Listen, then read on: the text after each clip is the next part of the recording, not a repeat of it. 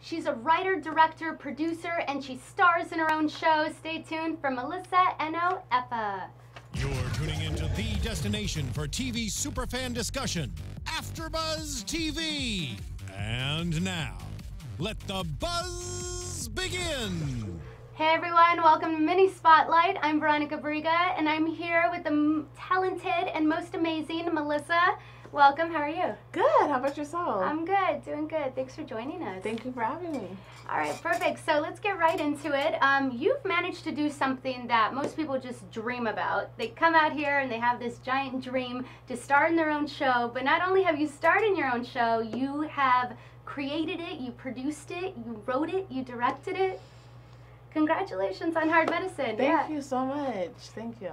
Tell us, uh, tell tell everyone about Hard Medicine if they if they haven't had a chance to, to see the show. So, Hard Medicine is a mockumentary web series about a medical clinic. So, similar to the show The Office, it's like The Office meets Scrubs, and it Okay. comes together. And it's about um, this medical team that's working together to keep the clinic open for the Okay. corporate heads who just want to knock it down for their own economic gain. Okay. So based on life, what really happens? Yeah, what really happens in the what clinic. really happens, unfortunately, yeah. Mhm. Um, what is uh, so? Wh- your character? Because I know there's a lot of female leads in this show, which I really appreciate and love. Tell us about your character. So my character, her name is Clarice, and she is the office receptionist, and Okay. she's like just a really snarky character. She takes her job like super, super seriously. okay. She calls herself the gatekeeper Okay. of the clinic. Like Oh. no one's gonna come past her if they're not supposed to. So yeah, that's my character. yeah, and you're you're very funny in this. Thank you. Yeah. Did you, Thank you so much. did you did you start as as I, I couldn't figure it out. I was trying to figure it out. I'm like, did she start behind the scenes and move into acting, or was it the other way around? Ah, yeah. Yeah. I mean, I has been an actress since I was 13, so like Oh, that was my first passion, and then I really became fascinated about the Yeah. behind the scenes and how to come up with story and writing. Yeah. So it started with acting first. It started. Okay, Mhm. well, hey, it worked out for you to do everything. yeah, yeah. what? Um. So you went to college here in LA, right? I did. I went to Loyola Marymount University. Cool. Yeah. And during that time, I read that you were um you had shot the pilot, or you were shoot you were sort of in, in the process of getting the pilot off the ground. Yeah, so Yeah. I graduated early in 2014, Okay. and then I moved back home to Atlanta, and I couldn't find a job. Okay. in Atlanta. I wanted to like see if there were more opportunities in Atlanta Right. for me to work Like produ- the business- production. in production, okay, gotcha. um, yeah. because that's where I'm from. Yeah. Um, but I couldn't find anything, and so instead of just like sitting around, I was like, I can like make something. I love it. Um, and my mom, she's a doctor, yeah. So um, Ah, I would go to work with her. Yeah, so I would go to work with her every day, and I just got inspired from just being there, and that's what kind of started um, Hard Medicine, and that's when I shot the pilot. Okay, and your main character is a female doctor. Is she Mhm. kind of based on your mom? or- Yeah, absolutely. Really? Yeah, yeah, yeah, yeah, yeah. She's definitely based off of my mom. I mean, my mom is probably not as like crazy, Mhm. but she definitely has like quirky moments. So a lot of that is inspired. And she has a really close relationship with her patients, and she was really is passionate about her job, like the main character, Dr. Moore. So. It's a real Yeah. life inspiration. Cool. mhm. Um, now, this is amazing. So you shot the pilot, and then it ended up in the hands of Jay Ellis, Yes. who is the one of the stars of Insecure, you know, on, on Mhm. HBO, um, and just yeah, huge actor. Um, how did you get connected with with Jay and get that off the ground? Yeah.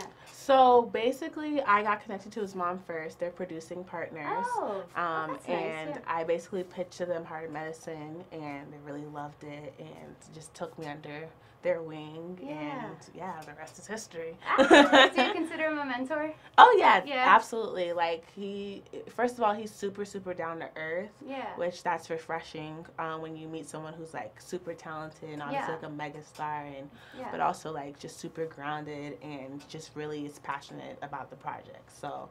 Um, I definitely consider him a mentor, like a big brother. Yeah, that's Mhm. amazing.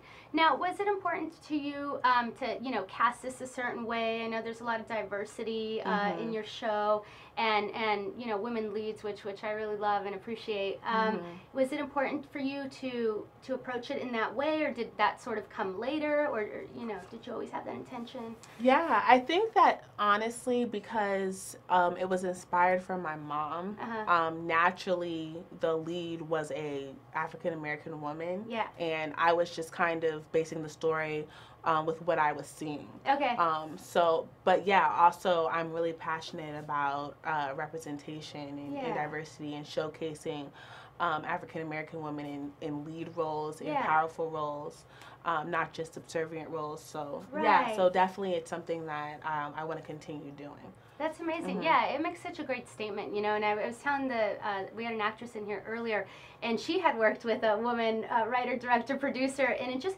makes for much more uh, dynamic characters, you know. yeah. Because a, a lot of times people just have this, this idea of what a, a woman is, and she- was Mhm. very limited. You're a nurse, Right. you're a mom, but but you know, on your show, it's like they, they have layers, and they're and they're everything, and they're much more. So we Mhm. love that. Um, all right, so what? Okay, what are your favorite parts uh, about being a producer, writer, director? And then what is something that you're kind of like, oh, it's my job, but I I rather not. Yeah, hmm, that's a great question.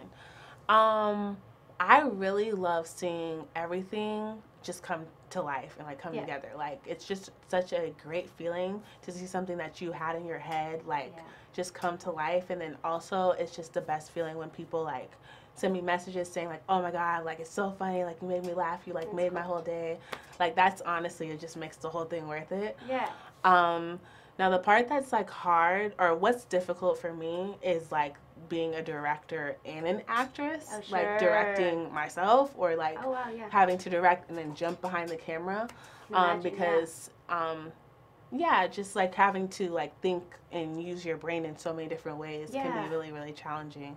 Um, but it's like I signed up for this, so Yeah. it's like we gotta do it, um, type of thing. Um, but I just really wanted to see what I was capable of and to see like, can I do this? So that's kind of why I did it. Um, but it was definitely challenging. Yeah. Wow, you did it. You certainly did it. Mm-hmm.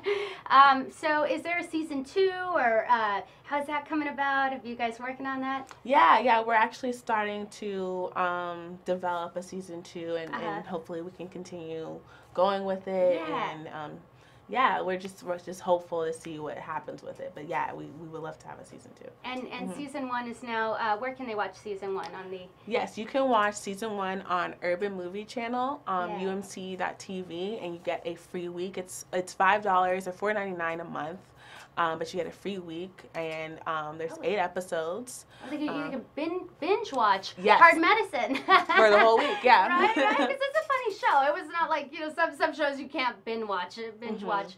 Uh, but yours is yours is a really good one. So Thank just get in and, and stay with it. So yeah. Thank you so much. Yeah, congratulations. Um, and I guess before we go, let's see. Um, any other scripts you want to talk about or upcoming projects?